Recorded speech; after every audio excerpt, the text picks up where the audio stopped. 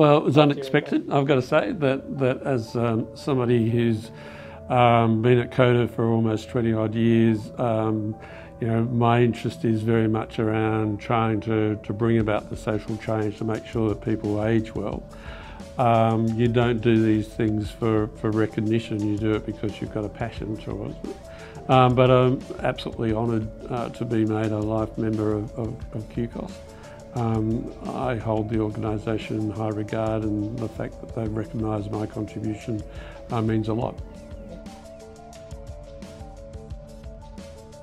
Well, I guess I became aware of QCOSS when I came into the sector. Um, I'd worked in uh, professional organisations, research organisations, media organisations, uh, but I wasn't really aware of, of QCOSS until I came to COTA. Uh, but I was really impressed with the attitude, the commitment of the of QCOSS's members, so, so the sector in general, but also the, the staff and, and the board uh, at, at the time. Um, so I, I think that uh, the work of QCOSS, uh, where they're really trying to bring about social change, but, but together with the sector, is really important.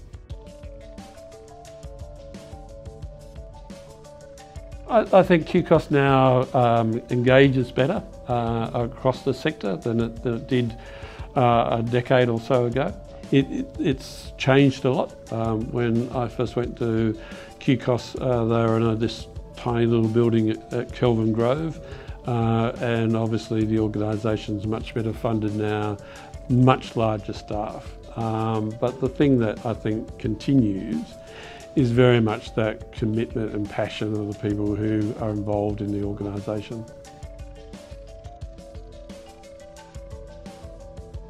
Um, it may be because it's the most recent, but uh, but I do think that in fact the uh, the human rights legislation that went to Parliament last week and, and got passed um, is really a significant uh, event. And we were really pleased to, along with QCOSS to, to be involved in, in pushing that, uh, recognising certainly the, the leadership of Aimee McVeigh who actually has, has guided this um, uh, through all the barriers over the last four or five years but uh, I, I, think for the sector uh, but also for Queensland uh, a Human Rights uh, Act that, that really gives uh, rights to, to every Queenslander is a significant change.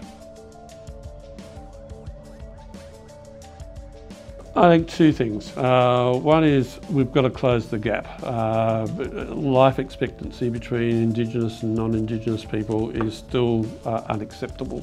Um, so we need to, to work uh, and we're and the Peaks uh, uh, doing some work with QCOSS around family matters, uh, but but um, again appropriately being led by QOTSIP um, is is really important work. But I think the the issue that I'm seeing increasingly is around cost of living. Um, that uh, as we are aging, uh, but uh, so so at one end of the of the spectrum, we've got uh, older people who are living longer and really facing massive uh, challenges in, in just having a decent quality of life. And at the other end of the of life course, we've got younger people who are really struggling to actually get a foothold.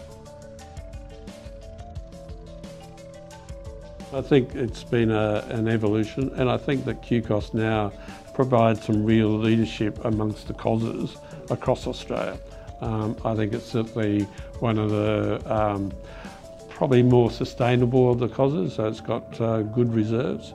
Um, and, and that's one of the issues that I think all of us have within the sector is how do we not only do the work that we're passionate about, but how do we also make sure that the organisation is sustainable. So I was pleased to, to leave the organisation in good shape.